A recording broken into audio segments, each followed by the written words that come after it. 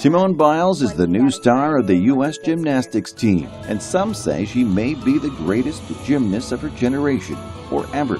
At 19 years old, she's the only gymnast to win four consecutive all around titles for the U.S. national team since 1974. She's expected to win big during Rio 2016.